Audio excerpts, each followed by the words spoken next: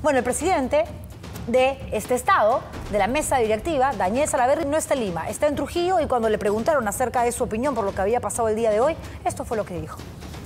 Mira, el Perú necesita de un líder que motive, que reconcilie, que una al país, que convenza con argumentos sólidos, no que amenace a las instituciones cada vez que las cosas no salen como él quiere. No podemos tener a un presidente de la República que actúe de esta manera.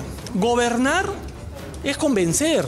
Gobernar no es imponer. Todos queremos que mejore el sistema político, que se fortalezca la democracia.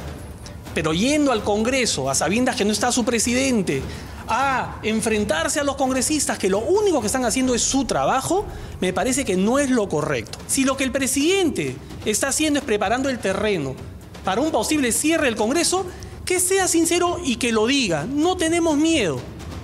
No le tenemos miedo.